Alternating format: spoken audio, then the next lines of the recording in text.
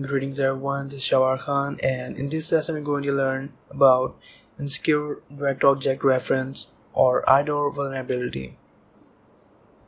IDOR is actually a vulnerability in which a user is able to interact with any other user's account and can make remote changes like changing password of any other user, accessing files of any other user by exploiting the main functionality of the application. Now consider a scenario in which um, there is a settings page and a user can make a password change request. Now if in the password change request there is something like ID parameter or anything that identifies the user account if it's replaced with someone else ID then it is possible to change password of any other user. If it's vulnerable to IDOR, we can do that. Or if we take a scenario of a file manager that views the files of the logged in user, if we make some changes and manipulate some values, we can access files of any other user user account. So that's what happened in an IDOR vulnerability. We can directly interact with other users' data and functionalities. In the next lesson, we'll learn how to find and exploit this vulnerability. Greetings everyone, this is Shawar Khan and in this lesson we'll learn how to find an IDOR vulnerability. In our previous lesson we discussed what is an IDOR vulnerability. It is basically a vulnerability that allows an attacker to communicate with others other users account and can make remote changes without interacting with the user. Here we got a test application and this is a functionality that can allow us to change the secret of a user.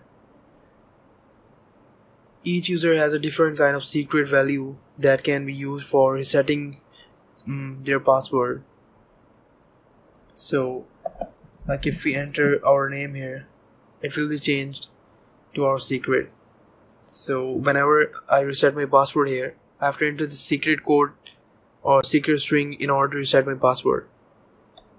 So in order to test this functionality for IDOR what we have to do is that first we have to intercept the request using burp suite. Next we have to see that what's the identifier we can see here um, let me send the request to repeater first.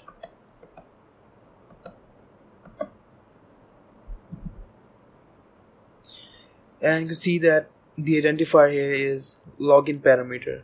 This is actually actually taking the username. If I submit this request it will change the secret of this user you can see here.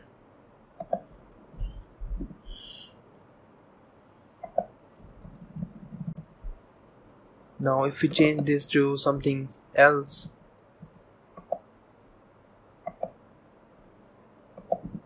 you can see that we are able to change the secret of any other user.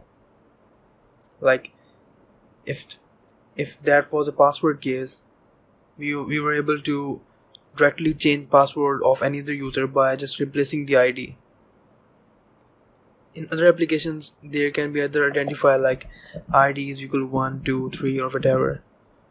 Or we can sometimes change the session session cookie or whatever the identifier is. So to test the vulnerability we intercept the request we check the identifier we replace the identifier with any other user's account. In order to test the vulnerability we can use our two test accounts and we can try changing the values of second account using the first account.